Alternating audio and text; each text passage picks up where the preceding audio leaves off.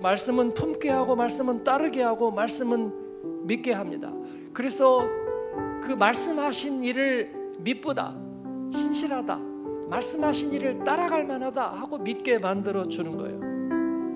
오늘 말씀에서 모세를 하나님께서 그 미디안 광야에서 부르시는 것입니다.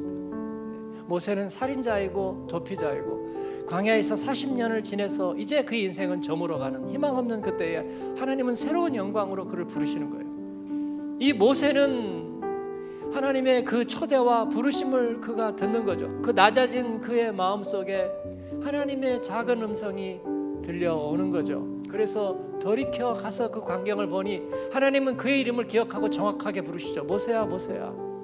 이 작은 초라한 모습이 과연 그 그 큰 구원이 될 것인가? 출애굽의 엑소더스가 될 것인가? 예, 모세가 응답함으로 그 일은 이루어지는 거죠. 축복의 토양은 그렇게 이루어지는 거예요. 부르심에 응답하면 주님은 이루어 가십니다. 저만침 벌써 가 있습니다. 고린도전서 1장에서 바울 사도는 우리에게 그렇게 이야기합니다. 형제들아 너희들의 부르심을 보라.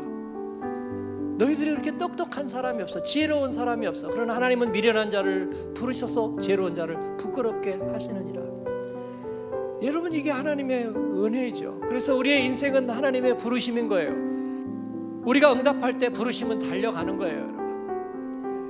부끄러운 자, 하나님 앞에 의가 없는 자, 그런 내가 주님 앞에 나갑니다. 돌이켜 이 가서 큰 광경을 보겠습니다. 말씀 드릴 때에 주님께서 이를 의로 여기시고 기쁘게 여기시고 그리고 이제 풀어내기 시작하실 거예요. 영광의 찬송이 되게 하실 것입니다.